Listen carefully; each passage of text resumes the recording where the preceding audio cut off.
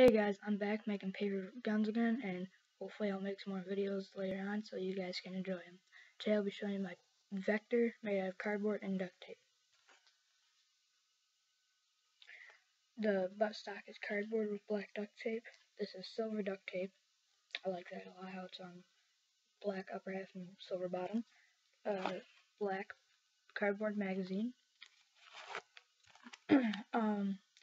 black grip, which is very loose. I'll get to that later on.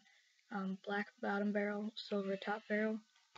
Um, uh, black red dot scope with nothing in it because I made it really quick because I just wanted to, it looks nicer than it does without it, so I just wanted to add I put it on Facebook, but um, uh, I said I'd be making videos again, and I don't know, and might, but hopefully I can make more videos for you guys because I don't know if you like them, but I enjoy making them. And uh, uh, a little heads up, I want to um, add a railing on here and down here, but I I'm I don't know how.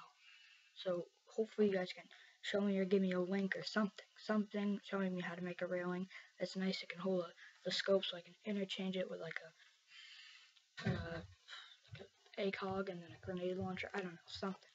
But um, hopefully you guys liked it. I really do. I just made it last night, and hopefully I can make some more changes, unlike my AA12, which I said because I lost it. And I want to be able to make more changes after I just make it because I really like it a lot.